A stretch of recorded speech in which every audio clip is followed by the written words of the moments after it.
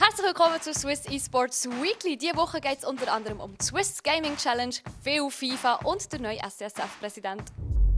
esports.ch Powered by UBC. Fantasy Basel steht vor der Tür und auch das Jahr findet wieder die Swiss Gaming Challenge statt, und zwar in Overwatch, League of Legends und Rocket League. Das Finale der SGC werden auf der Bühne der Fantasy Basel ausgetragen.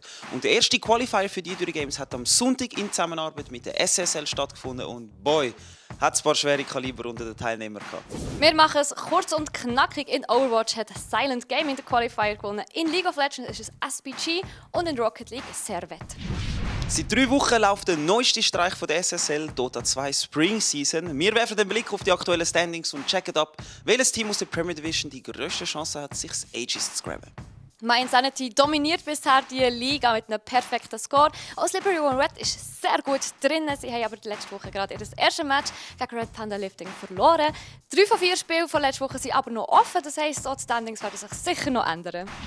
Wir haben euch ja letzte Woche vom KF Stone in Bühl berichtet. Die fünfte Ausgabe der bekannten Schweizer Hearthstone-Turnierreihe hat jedoch frühzeitig abgebrochen werden. Die Duelle sind ein bisschen zu lang gegangen und die Location hat die Türen zugemacht. Das Finale ist jetzt aber nachgeholt worden und im letzten Spiel sind sich die zwei Welschen, der Hensio und der Rabin, gegenübergestanden. Gewonnen hat der Hensio mit einem 3 zu 0. Acht Wochen lang ist Game-Turnier mit der FIFA Schweizer Meisterschaft durch die Schweiz gedauert. Und jetzt diesen Samstag hat in Winterthur der letzte offizielle Qualifier stattgefunden. In eineinhalb Wochen an Fantasy Basel reisen der Marvin Wolf und der Besmir Sutta. Du hast noch eine allerletzte Chance und zwar am Wildcard-Turnier vom 6. Mai, organisiert von den 20 Minuten in den E-Studios.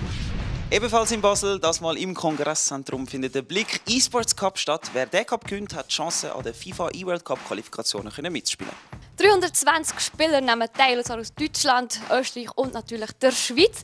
80 davon sind eingeladen, weitere 240 sind nach Anmeldeschluss ausgelöst worden. Am Freitagabend haben sich dann außerdem noch vier PS-Spieler für den Blick eSports Cup qualifizieren und das im eParadise. An allen anderen für weitere Plätze sind der Musa, der Diogo, der Nemanja und der Leon.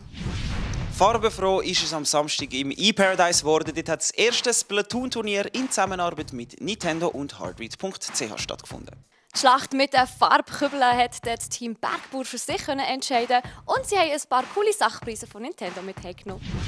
Am Sonntag in Luzern sind wieder fließig Karten aneinandergereiht worden. Es hat der zweitletzte Qualifier von der Innovatica Masters stattgefunden. Auf dem besten Weg zum Master of Cards ist der Sabata. Er gönnt den Qualifier und kann jetzt auch im Finale der Fantasy Basel mitspielen. Der letzte Qualifier findet übrigens dann nicht in Mana Bar statt, sondern direkt an Fantasy Basel selber, und zwar am Stand der Innovatica Masters. Am vergangenen Samstag hat die Generalversammlung vom Schweizer E-Sport-Verband stattgefunden. Nachdem der Vincent Kögler gesagt hat, dass er nicht mehr als Präsident wird kandidieren ist außerdem über einen neuen Präsident abgestimmt worden. Wir dürfen jetzt neu in diesem Amt der Boris Mayangur begrüßen.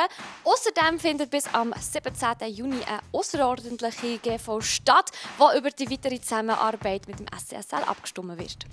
Macht eure Kampfstiefel und Bratpfannen parat. Die SCSL hat die offizielle PUBG-Season angekündigt. Am 20. Mai startet die Season. 20 Teams werden können mitmachen.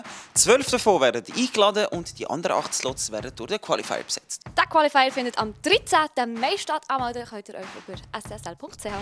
In Feraldorf bricht wieder der Zweite Weltkrieg aus. Waffen müsst ihr keine mitnehmen, PS4-Controller langt. Am 5.5. findet im Hagenhaus ein weiteres Call of Duty Turnier statt.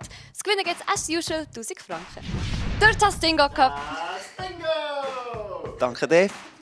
Ein Hearthstone-Event, organisiert vom HDEC, geht in die zweite Runde.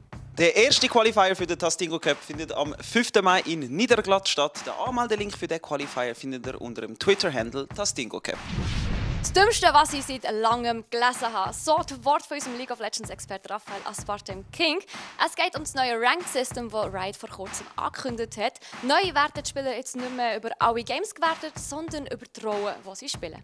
Die Meinungen zu dem System gehen auseinander. Ein paar Spieler hat es so getroffen, dass man sie seitdem nicht mehr online auf Twitter gesehen hat. Merci vielmals fürs Zuschauen. Denkt daran, wir machen jede Woche neue Videos. Und wenn du mehr über die Schweizer E-Sport-Szene erfahren willst, gehst am besten auf esports.ch. Der Streamer vor Wochen ist der Mitte. Er zockt hauptsächlich Shooter, wie zum Beispiel Far Cry 5, PUBG, Star Wars und auch ein bisschen Overwatch. Schaut auf jeden Fall beim sympathischen Berner Bub mal vorbei und wir sehen uns nächste Woche. Tschüss zusammen. esports.ch Powered by UPC.